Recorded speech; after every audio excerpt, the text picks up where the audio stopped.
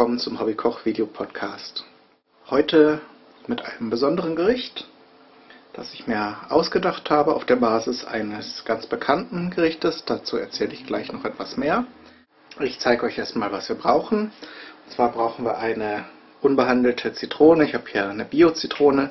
Davon brauchen wir etwas von der Schale und etwas von dem Saft. Dann brauchen wir absurde Mengen Bacon, Hähnchenbrustfilet, etwas Salz, Pfeffer habe ich hier in der Mühle und Salbeiblätter. Dazu an Werkzeug brauchen wir noch natürlich ein paar Messer, ähm, Alufolie und eine Sushi-Matte. Die habe ich hier in der Hand, weil die Arbeitsplatte jetzt schon zu voll ist. Und ja, die Kenner unter euch können vielleicht schon am Salbei erraten, was ich vorhabe oder in welche Richtung das geht. Es gibt ein italienisches Gericht, das nennt sich Saltimbocca. Und das wird normalerweise mit Kalbfleisch gemacht und ähm, dann mit Serrano-Schinken umwickelt. Das ist natürlich was sehr Edles und Teures. Das wird auch in der Pfanne zubereitet und ähm, nachher auch mit einem Weißwein abgelöscht und darin ein bisschen äh, gedünstet. Und ich habe mir überlegt, ich mache jetzt die Barbecue-Style-Variante in abgespeckter Form. Dazu schneide ich mir erstmal das Hähnchenbrustfilet in schmalere Streifen. Das ist mir so ein bisschen zu groß. Nehmen wir mal ein richtiges Messer.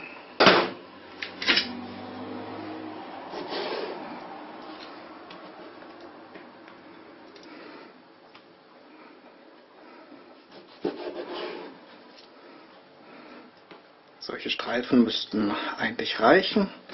Wie gesagt, das ist, oh, hier machen wir mal ein bisschen von dem Gemetzel ab. So. So.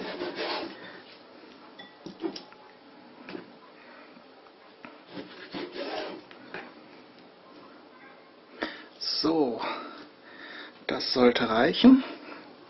Jetzt können wir mit dem mit den anderen Dingen weitermachen. Hier mit der Schale müsst ihr darauf achten, dass ihr nicht so wie ich jetzt die äh, das Weiße, diese Schutzhülle mit abschneidet, sondern wirklich nur ganz dünn. Wenn ihr eine extrem gut ausgestattete Küche habt, dann habt ihr vielleicht einen Zestenreißer, dann spart ihr euch gleichzeitig den nächsten Arbeitsschritt, nämlich das hier noch ein bisschen fein zu schneiden. Wir wollen natürlich möglichst vermeiden, dass das beim Essen nachher sehr stört. Das ist auch jetzt kein Originalbestandteil von Saltimbocca.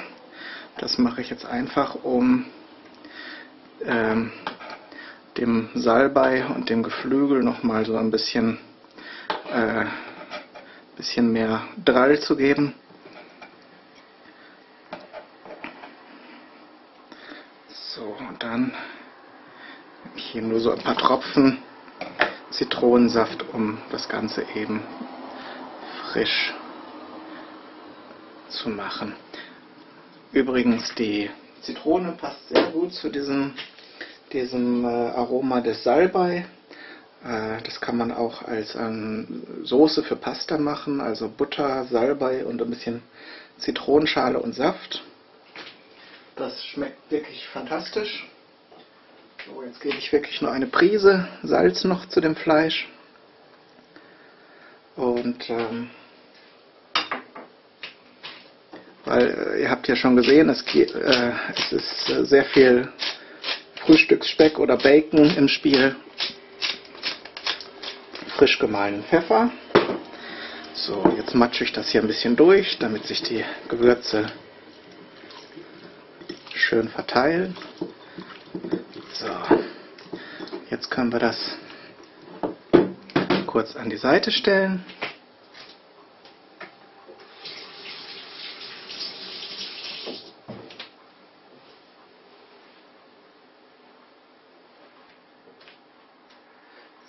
Was wir auch noch in der Vorbereitung machen müssen, ist hier die Blätter zu teilen entlang des Stiels.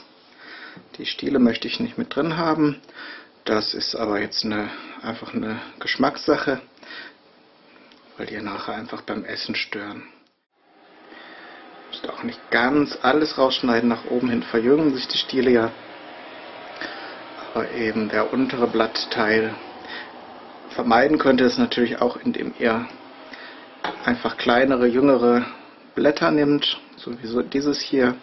Das hat auch nicht so einen dicken Stiel, aber ich habe jetzt mal meine Salbeipflanze ein bisschen erleichtert von diesen großen alten Blättern und dann wachsen ja auch die kleinen Blätter oben nach. So, damit haben wir es schon. Ist natürlich reichlich. Aber ich hatte jetzt keinen Bock, das nachher nochmal mittendrin nachzubereiten. So, jetzt kann es schon losgehen. Jetzt kommt der kunstvolle Teil. Die Bambusmatte kommt ins Spiel. Wir hier schon ein paar Bögen Alufolie vorbereitet.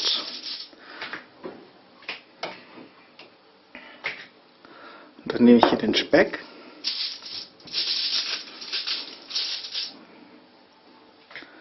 und lege den. Ah, ist vielleicht schon sinnvoll. Der Speck hat zwar viel Fett, aber der fleischige Teil könnte sein, dass das nachher anbackt. Lieber ein bisschen Öl drauf, muss auch nicht viel sein.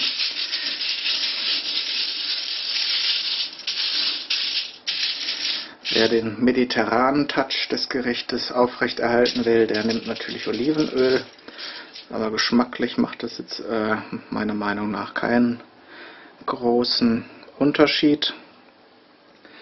Nehme ich mal hier so ein paar. Jetzt kommt nämlich der spannende Teil, das habe ich irgendwann mal in den Internet gesehen. Es gibt ja vor allen Dingen in den USA, aber ich glaube weltweit, eine große Fangemeinde für Speck und da gibt es also ganze Fanseiten für Bacon-Fans, wo dann eben Rezepte ausgetauscht werden, die irrationale Mengen von diesem Speck enthalten. Ich äh, finde Speck auch cool, da jetzt nicht so eine so eine intensive Beziehung zu diesem Nahrungsmittel, aber ähm, so zum Frühstück oder für bestimmte Gerichte ist das einfach eine feine Sache. Und ihr seht schon, was ich jetzt hier mache, während ich so weiterrede. Ähm, aus dem Speck macht man so ein Geflecht, im Prinzip so wie dritte Klasse Kunstunterricht, Handwerken. Ähm, wir machen einen kleinen Teppich. Das Ganze sorgt dafür, dass wir einen sehr eine sehr zuverlässige und stabile Speckschicht um unser Geflügel nachher haben, die also auch beim Grillen und bei, äh, beim Aufschneiden die Form behalten sollte. Bei jedem Wetter. Und Außerdem ist es natürlich nachher, wenn man das Ganze aus der Hülle befreit, ein ganz schöner Anblick. Ich habe das schon mal mit einem anderen Gericht probiert und zwar habe ich in Anlehnung eben an diese Webseiten, die ein, ein fantastisches Gericht, das ich aber voraussichtlich nie kochen werde, weil es auch so ein bisschen bisschen verrückt ist, also auch nicht so ganz. Naja, es, es geht um den Turducken. Falls ihr das schon mal gehört habt, das ist ein Truthahn gefüllt mit einer ganz gefüllt mit einer Ente, mit einem Hähnchen und wenn man es dann noch weiter äh, treiben will, könnte man vielleicht auch noch eine Wachtel äh, in das Hähnchen reinstopfen und das Gericht, was an, si an sich schon ein Irrsinn ist, war dann auch noch umwickelt mit Speck. Und ähm, um diese Idee aufzugreifen, verschiedene Sorten Fleisch in einem Gericht zusammenzustecken, ähm, habe ich dann eben ein äh, Schweineschnitzel auch so in dünne Streifen geschnitten und ähm, dann Hackfleisch, Rinderhackfleisch darum gemacht und äh, dann das Bacon darum herum. Ich glaube, Geflügel war auch noch in irgendeiner Form ähm, im Spiel, so dass ich da also im Prinzip äh, verschiedene Tiere in einem zusammengefasst hatte. So, ihr seht, das marinierte Hähnchen kommt jetzt so auf den Speck. In der Mitte ein paar Salbeiblätter. Und jetzt wasche ich mir noch mal kurz die Finger.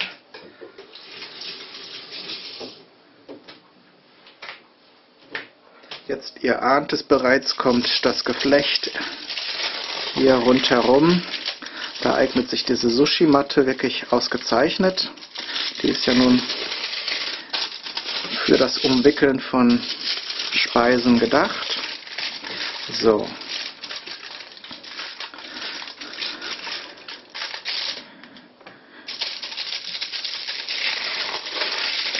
Na, muss man so ein bisschen aufpassen, dass man sich das Ganze nicht in letzter Sekunde noch verhunzt. So. So sieht es dann im Brotzustand aus. Jetzt wickel ich es gleich wieder ein, weil diese Alufolie wird nachher in den ersten Minuten auf dem Grill auch dafür sorgen, dass das äh, dass, das, dass der Speck erstmal fest an das Fleisch anbrät, das Ganze seine Form annimmt und nach drei, vier, fünf Minuten kann man dann die Alufolie abwickeln, legt das Ganze nochmal auf den Grill, damit der Speck auch natürlich schön kross wird. Das ist ja das, äh, das Wichtige beim Bacon. Jetzt wickel ich das Ganze noch ein und kann das im Kühlschrank gut bis morgen aufbewahren. So eine Granate haben wir nachher. Davon mache ich jetzt noch mehr, aber ich denke, das Prinzip ist euch klar. Ähm, ich wünsche euch viel Spaß, wünsche mir natürlich von euch Rückmeldungen, ob das bei euch funktioniert hat. Dann wünsche ich euch alles Gute und viel Spaß. Euer Kai Daniel Duben. Na, na, na,